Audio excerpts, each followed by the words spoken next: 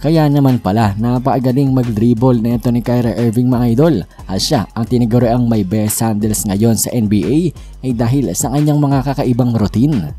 Ito nga mga idol ang isang example dyan. Tingnan natin.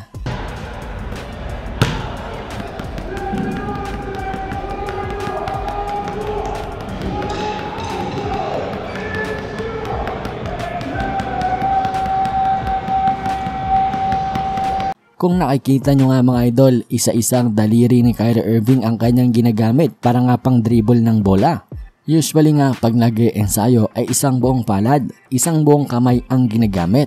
Pero ibahin natin mga idol ang pag ensayo ni Kyrie Irving. Iniensayo niya pati ang kanyang mga daliri. Sigura't paliwanag na rin ito mga idol dahilan kung bakit nga napakalupit na ito ni Kyrie Irving pagdating sa kanyang mga dribble meron niya talaga siyang elite dribbling skills dahil na rin sa kanyang mga ganitong ensayo. Next balita naman tayo mga idol, ito nga si Draymond Green ay parang si Steph Curry sa practice.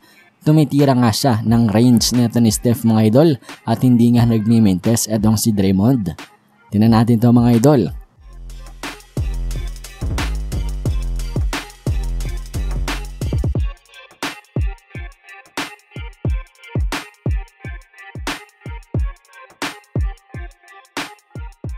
At sa ating next balita ng mga idol, Lebron James at Anthony Davis ay napakalaki pa rin ng tiwala sa kanilang team na Los Angeles Lakers ngayong parte ng season. Sabi nga ni AD at ni Lebron at ng team ng Lakers ay naniniwala pa nga rin sila na kaya nilang tapusin ang season na ito ng merong 5-0 record at possibly pumasok nga sa play-in tournament. Currently mga idol, ang Lakers ay meron na lamang 11% chance na pumasok sa play-in at yan nga ay galing na mismo sa ESPN.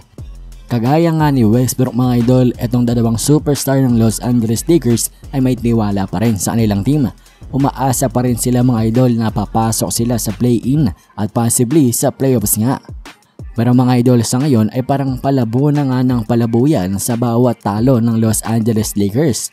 Pababa nga ng pababa ang kanilang record mga idol samantalang ang Spurs ay umaangat nga sa mga panalo. Kaya nga mga idol tingnan natin ang Los Angeles Lakers ba ay makakapasok pa sa play-in or completely malalaglag na nga ngayong season na ito. At yan ang alaman din muna para sa ating mga balitang NBA ngayon. Maraming ang salamat sa inyong panonood.